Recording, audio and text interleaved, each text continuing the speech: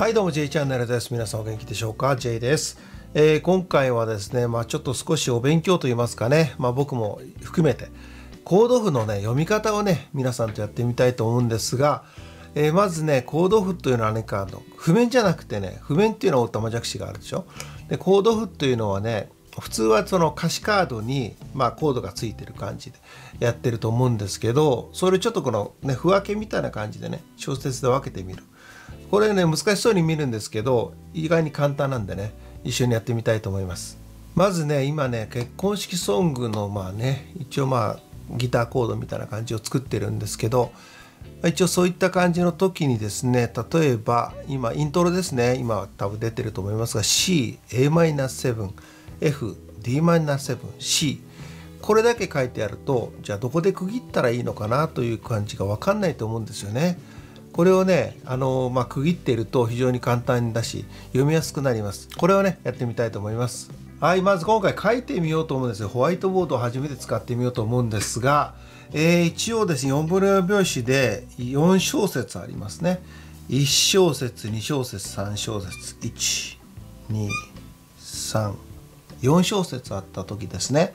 えー一応コードチェンジをしっかり書いておけば簡単なわけですよねこれ乾杯のイントロなんですけど、え1小節目が C2 小節目が Dm73 小節が F と Dm7 書いてます、えー FDm7 で、まあ、2つ1小節に2つコード弾くんですね。で4小節目が C という感じなんですよ。こういう感じで書くと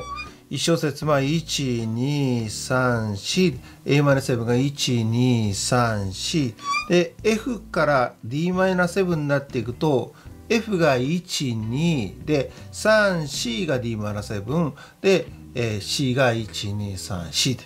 こういう感じの書き方になってきます。ここまでは大体わかると思うんですけど例えばね手書きで書く時あるんですよ。簡単に走り書きでこんな感じでもらったこともあるんですよね。そしたらどういうふうに読むかというとさっきとこれと全く同じなんですよね。区切っているこうこっちの区切ってでしょ？区切って区切って区切っているのがこの区切りが1小節なんですね。1小節2小節3小節4小節。例えば譜面だったらこんな感じで書いてあります。1小節2小節3小節4小節と書いてある。手書きだったらこう書いてます。えー C ちょんちょんとやってね間に書いてます。でコードが1つ入ってるのと 2, 1つ入ってる。2つ入ってる。1つ入ってるのはこれと結局はこれと上と下は同じことなんですね。だから分かりやすくするとこのちょんちょんの長さは関係なくてこれがこうですよという意味なんですね。分かる方は分かると僕は最初ね分からなかったんですよ。この間がねどうなんだろうという感じ。だからこういう感じで思ってもらったらいいと思います。だからちょんちょんちょんちょんちょんちょんちょんとこうこれがね7つ8つ貼ったらこれが1小節2小節34567と。この長さのねこの短いと長いのがあるでしょ。これは全く同じっていうことを考えてください。これで区切ったらもう1小節。長くこの間が、えー広かろうが短かろうが同じ感じなんですね。はいそれでは例を挙げてやってみたいと思いますが今こういった感じで今出てると思いますね。でこれをですね譜分けするとこういった感じになりますね。C でこうやっていてで Am7 ですね。で F FDm7C これがイントロですね。それから「固い絆に」に入りますね。でここで「思い」で切ってますのでコードチェンジは「思いを寄せて」になりますねで「語り尽くせぬ青春」「春の日々」になります。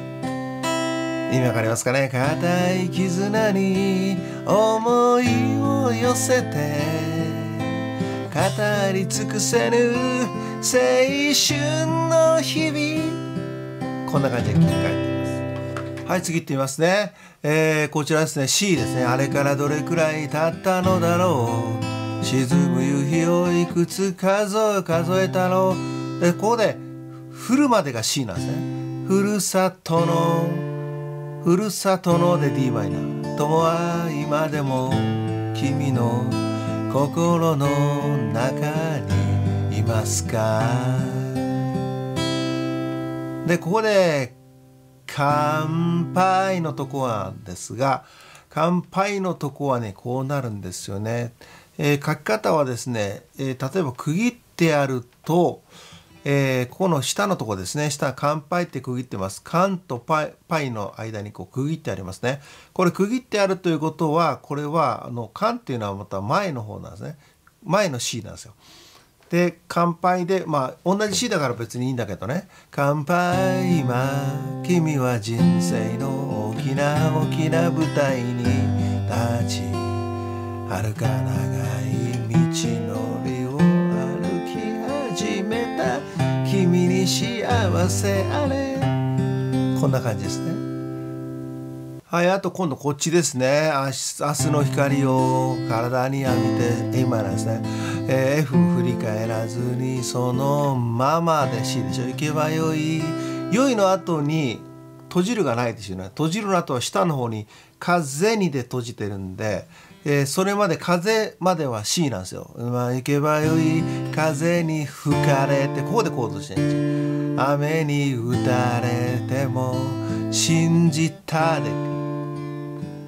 背を向けるなこの d マイナー G7 は1小節に2つあるんで DG7 そして C ですね。C が短いんだけどこれはこれ 123C の4小節。パッと見たらちょっとね Dm7G7 とか長くて C が短く見えますけどこれはね1小節分だと思ってください。ちゃんとしたコード譜はちゃんと五線譜できっちりねやってますけど、えー、こういったあの解説動画とか、まあ、一応こういった感じのやつは分かりやすくコードチェンジの切り替えをねやってますので、まあ、ご理解いただけたらと思います。あの歌詞カードにねコードがやってやるやつは結構アバウトに書いてあるんだけど譜面できっちりやるやつはもうしっかり小説で分かれてますので、まあ、そういった感じのを取り入れて、まあ、譜面もねあのコード譜も作ったら分かりやすくなると思うんですよね。え、今は多分ねあんまり必要ないかもしれませんけど今後やっぱりこうみんなとセッションしたりとかあとは DTM でね自分の曲を作ろうとした時に、まあ、弾き語りは一緒に弾くんだけどギターだけ入れて後で歌を取るとかそういった感じの時に、まあ、ギターだけ弾かなきゃいけない時に非常にこういったのがあるとね譜面で割ってるとこのふわりをしてると非常にこう弾きやすくなりますので是非これを覚えてもらったらと思うんですよ。だから弾き語りやってる時はね別にま自分のねなんかこう雰囲気でこうやればいいけどやっぱりこう旅行なんかしてたりするとねやっぱりどうしても難しいのでこれ覚えとったら本当にいつか役に立ちますのでねよかったらね、えー、コード譜の見方、